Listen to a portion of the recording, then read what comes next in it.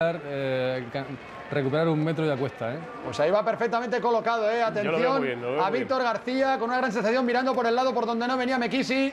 Ahí pasan por línea de meta.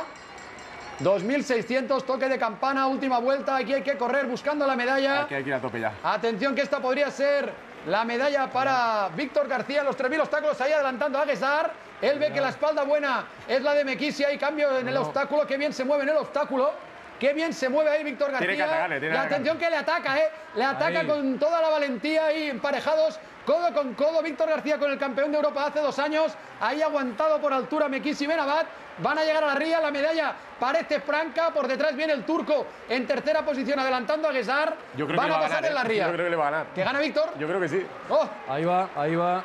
Lo tiene, ¿eh? Yo creo que le gana. Vamos, Víctor, que hay que creerte lo que puede ser. Ahí está buscando el título pasa, de campeón de Europa de 3.000 metros obstáculos. Vamos a ver la recepción de este ahora, obstáculo. que le. ¡Oh! Se ha caído Víctor cuando iba a intentar ganar la medalla de oro. Al final seguramente va a poder contener y mantener la de bronce. Bueno, una medalla, Gana Mekisi. Segunda plaza para Agdak y seguramente era el oro. Seguramente era Le el oro. pasaba, le pasaba. Le pasaba medalla de bronce para Víctor Qué García. mala suerte ha tenido. Qué mala suerte. Qué valiente, ¿eh? Pero bueno, de todas maneras es una medalla de bronce, pero bueno, ha estado valiente, Bueno, tenía un carrerón, de, iba por el oro, el oro era suyo y El oro podía la haberlo- mala pata de tocar el, el obstáculo, ¿no? Si, si se llega a conformar era plata segura, pero ha querido el oro y le ha, y le ha salido el Le bronce. ha fallado a Ah, mejor un poquito la ¿eh? fuerza, pero bueno, ha corrido como un campeón y, y la emoción que nos ha hecho sentir, pues ya merece la pena, ¿no? Era su Qué carrera. oportunidad. Ha visto la Eh, oportunidad pero de tendrá más, europeos. Ahora son cada dos años y lo que se ha... Pero tenía la oportunidad, ¿eh? O sea, chapó por Víctor, que ha intentado ganar el oro como tiene que ser.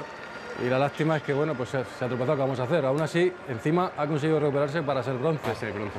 Está pidiendo la, la bandera Víctor García, que tenían tanta ventaja ya que eso le ha permitido mantener esa tercera posición y que no llegara Nordin Guesar. Al final Merzugi ha sido quinto, posición de finalista.